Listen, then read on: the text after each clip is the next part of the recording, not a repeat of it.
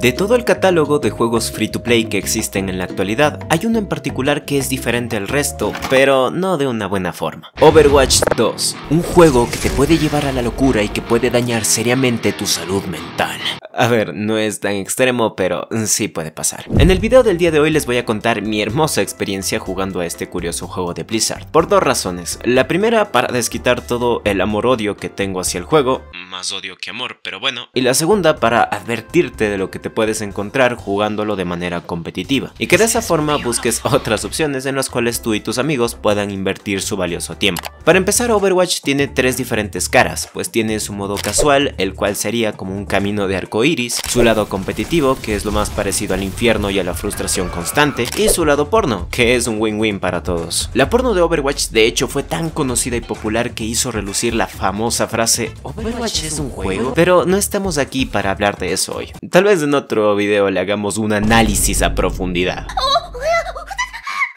Jugar Overwatch de manera casual es bastante entretenido, son partidas rápidas y frenéticas en las cuales juegas con un montón de jugadores sin casi nada de experiencia, y puedes pasarla bien, pero el verdadero problema son sus partidas competitivas, por una sencilla razón. Overwatch se distingue de los demás juegos del mercado por ser totalmente injusto. En los juegos multijugador o juegos cooperativos es obvio que para tener una mayor probabilidad de victoria, debes tener una unión con tu equipo, debes saber coordinar estrategias, comunicarte bien y en caso de perder retroalimentarte con tu equipo para mejorar en la siguiente partida. Sin embargo, en juegos como Apex, Fortnite o Valorant, en ciertos rangos, no es totalmente indispensable que todo tu equipo sea el mejor, porque en dichos juegos puede bastar tener las habilidades necesarias para tú mismo encargarte de un equipo en Valorant, de destruir un trío en Apex o de sobrevivir a un escuadrón en Fortnite. Evidentemente no es algo sencillo, toma una gran cantidad de horas de juego el poder llegar a ese nivel de habilidad, pero de cierta forma es algo que se puede lograr y esas posibilidades de victoria aumentan aún más si juegas solamente con un amigo con tu misma habilidad. La situación en Overwatch es completamente diferente, porque si bien en otros juegos dependes de manera parcial del equipo, en Overwatch dependes totalmente del equipo, y eso es lo que lo convierte en un juego totalmente injusto, porque no importa que tan bien lo hayas hecho, no importa que tu daño o sanación sea más de 20.000 o que hayas logrado ser un buen tanque, basta que aunque solo uno de los miembros del equipo falle y puedes estar presenciando una derrota. Solo un miembro de 5. Si tus supports no sanan lo suficiente o no te ayudan en otros aspectos, puedes perder la partida. Tus DPS no hacen los suficientes kills o daño, puedes perder la partida. Y si tu tanque es malo, perdiste la partida.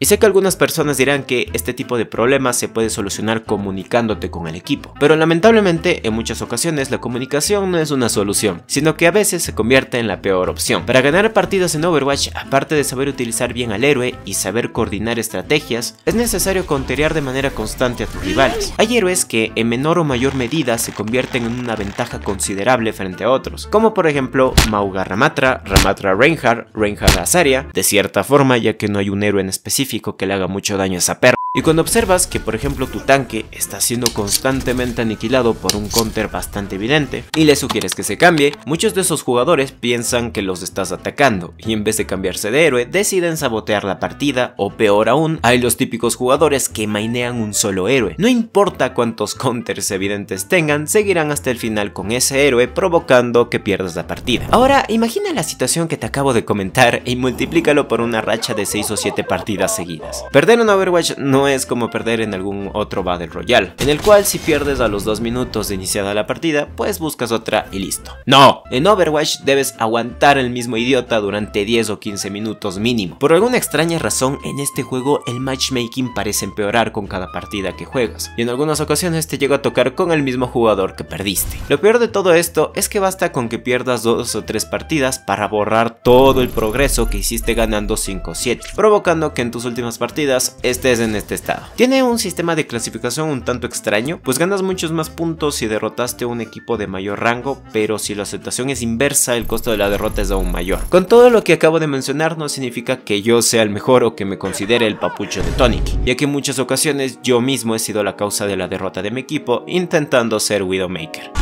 Overwatch es un juego sumamente complejo dominarlo de manera básica, ya que mínimo necesitas aprender a manejar 3 o 5 héroes para poder defenderte en su modo competitivo. El juego ahora no está tan desbalanceado como lo estaba en sus primeras temporadas, eso es algo positivo, a excepción de Sojourn que la dejaron inválida, pero si piensas jugar Overwatch de manera competitiva, no te recomendaría jugarlo con solamente un amigo, y mucho menos jugarlo solo. La experiencia ideal para jugadores promedios sería jugarla mínimo con 3 jugadores, uno siendo tanque, otro siendo DPS y el último siendo support. De esa manera cada uno ocuparía un rol esencial dentro de la partida y tendrían una menor frustración e ira, o tal vez no. En fin, esta es únicamente la opinión de alguien que no ha jugado ni mil horas de juego. Tal vez los jugadores más experimentados me digan que me equivoco, o tal vez no, pero de lo que sí estoy seguro es que este juego no es para todo el mundo, al menos en el lado competitivo, porque de forma casual es bastante disfrutable. Nos vemos en la próxima muchachos, chao chao.